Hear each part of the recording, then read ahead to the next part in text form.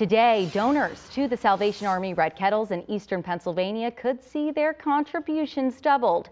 It's all a part of the Territorial Commanders 2023 Kettle Cash Match Challenge. It's all to support local neighbors in need. Funding for the match will come from the Salvation Army's USA Eastern Territory.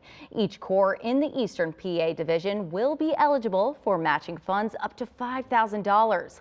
The kettle match comes at a critical time as the Eastern PA Division is experiencing a decrease in donations. That's as much as 20%. Don't